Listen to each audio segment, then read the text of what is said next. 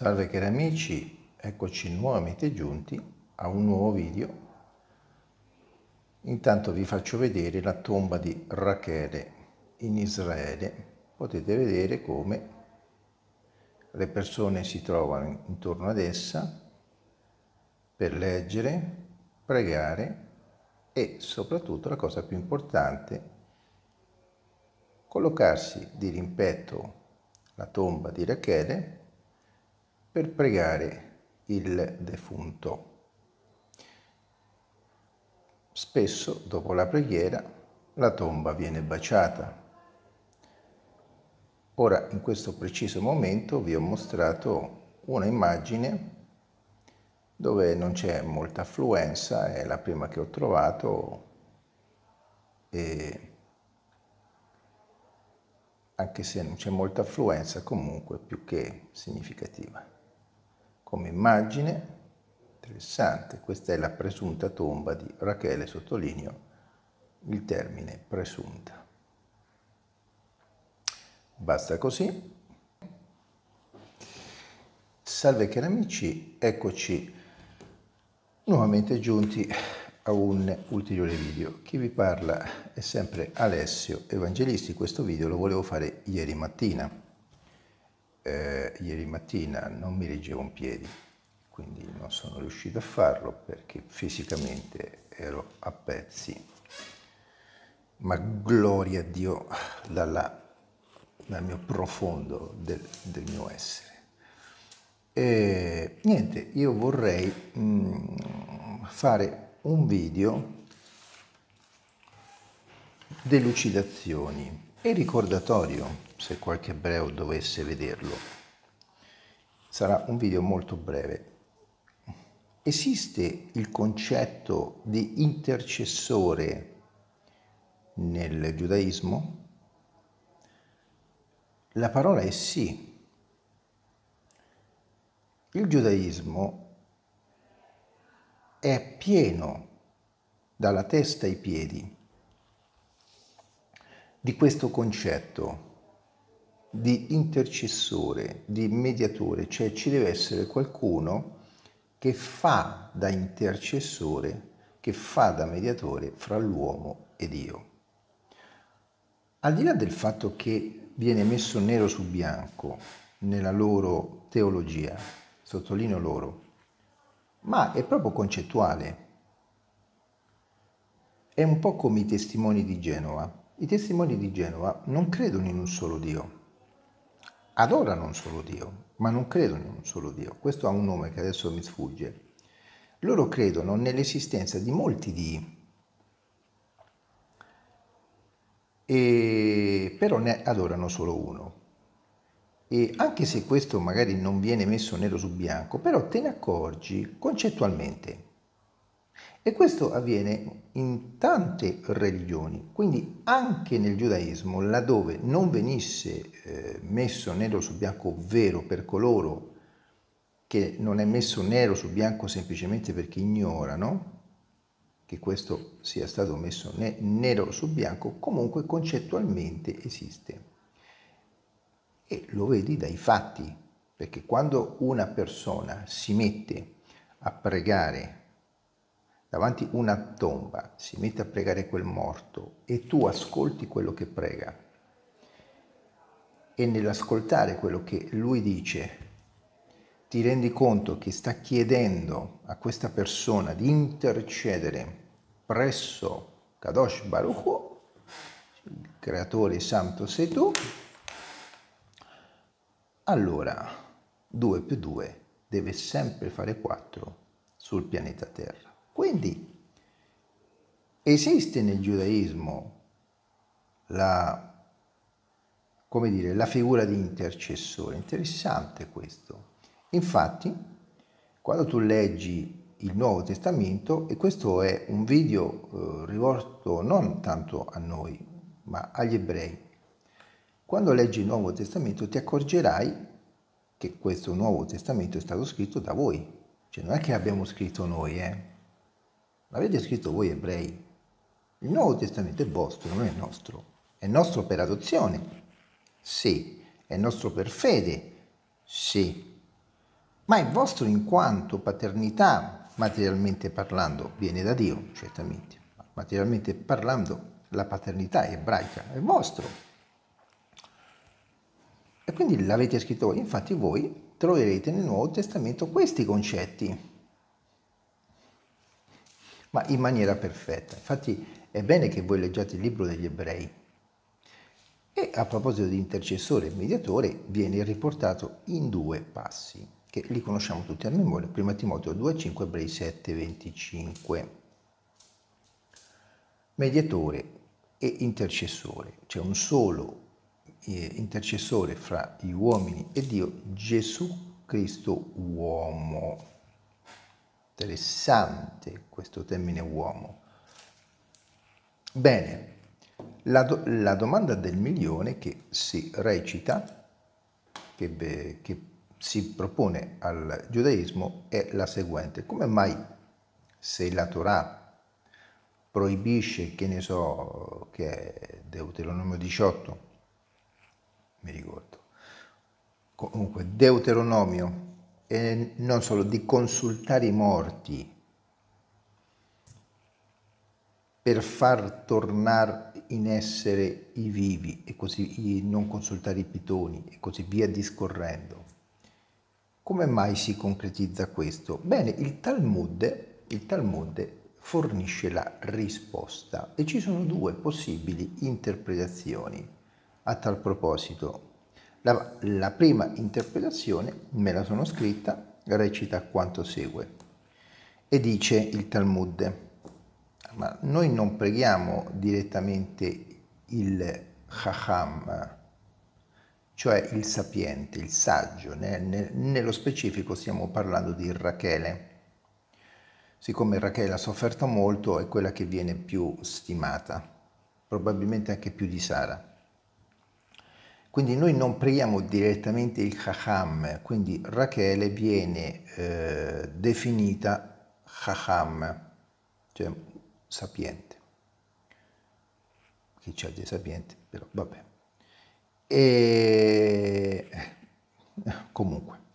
Noi non preghiamo direttamente il sapiente, il Chacham, il morto, ma preghiamo Dio che per i suoi meriti si ricordi di noi. Cioè tu non preghi direttamente il morto, ma preghi il Dio, però lo fai attraverso il morto, però ti rivolgi al morto e baci la sua tomba. Va, sono un po' confuso siete riusciti a confondermi. La seconda interpretazione è la seguente. No, no, è permesso, dice il Talmud, i Chachamim talmudici, i sapienti, dicono no, no, è permesso parlare all'anima del Chacham, del sapiente, ma solo se gli chiediamo a quest'anima, a dove sta quest'anima? Vabbè che ci faccia da messaggero davanti al Signore. Al di là del fatto che la Torah dice di fare una cosa e il Talmud va contro la Torah, comunque, interessante notare che nel giudaismo esiste il concetto di intercessore. Ora tu mi devi spiegare una cosa, ti faccio una cosa, esiste un solo uomo, ricordate quello che ha detto Salomone, sulla faccia della terra che non abbia mai peccato? Esiste? Che non abbia commesso almeno un solo peccato?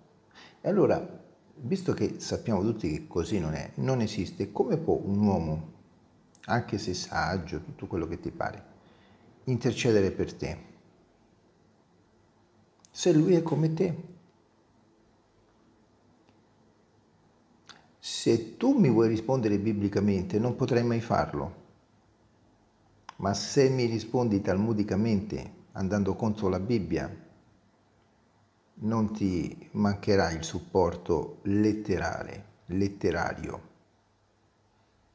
e così via discorrendo.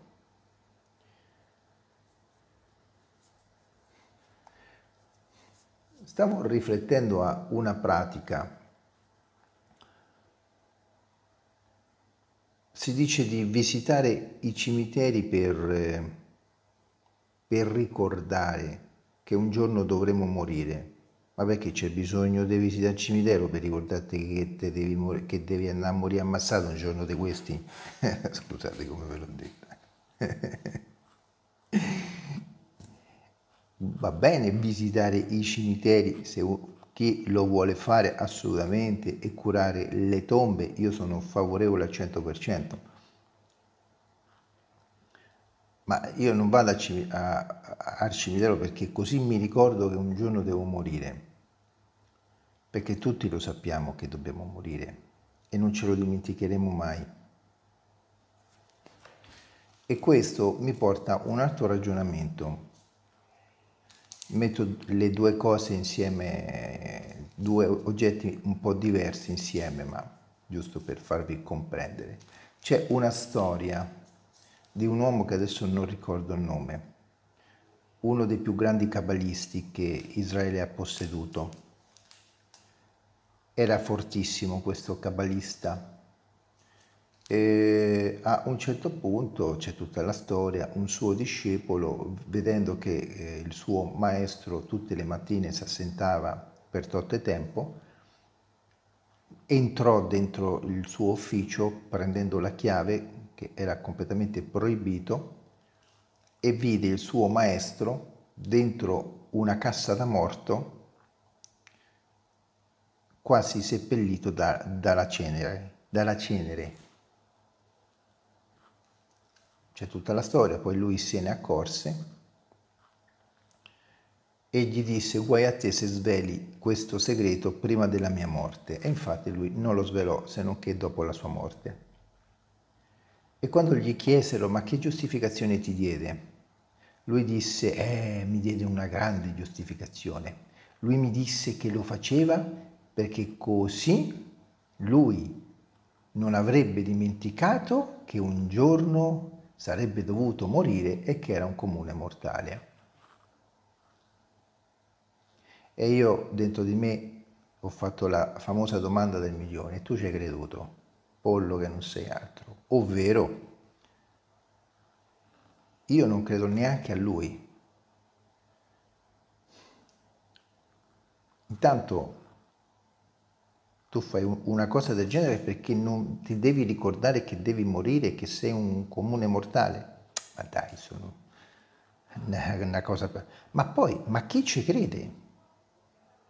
Quella pratica, che è molto simile a quella che faceva Adolf Hitler, solo che Adolf Hitler invece di mettersi dentro una cassa da, da morte pieno di cenere, si metteva dentro la vasca da bagno che simboleggia la cassa da morto e si imbrattava di sterco umano. Pratica satanica per acquisire potere e quant'altro.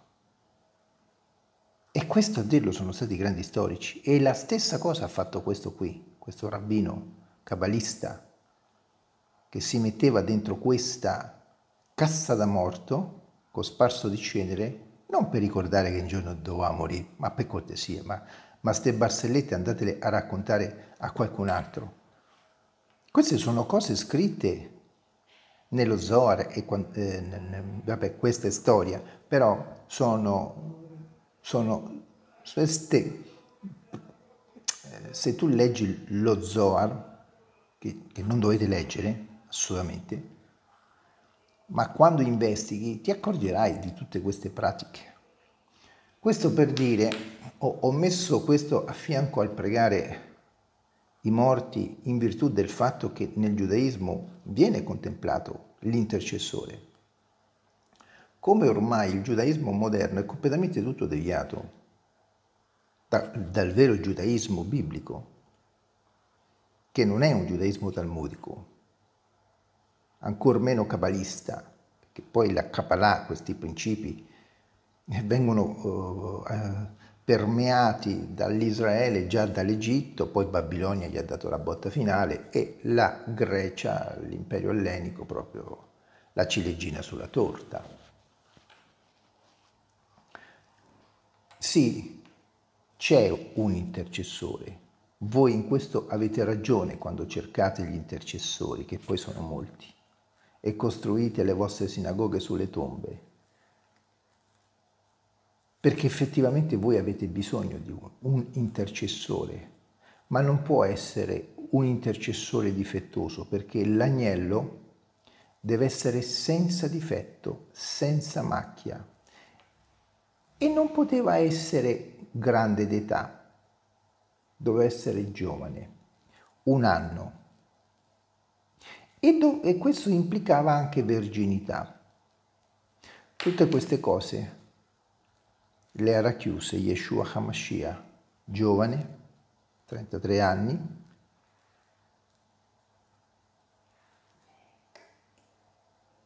vergine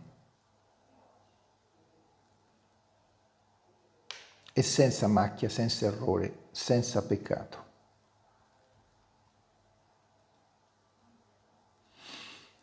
Niente, riflettete bene quello che fate il Salmo 49, che io lo cito sempre per svergognare i cattolici, che tra cattolicesimo e giudaismo moderno non c'è nessuna differenza. Il Salmo 49 dice che il riscatto dell'anima non ha prezzo.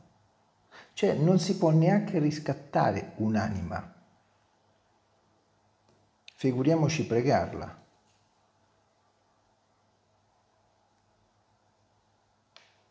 Ormai l'anima è andata al suo destino eterno. E Gesù ebbe a dire in Luca, non mi ricordo se è capitolo 16, il ricco Epulone e Lazzaro, che quelli che stanno di là non ci possono ascoltare. Quindi riflettete quando cercate l'intercessore chi è questo intercessore?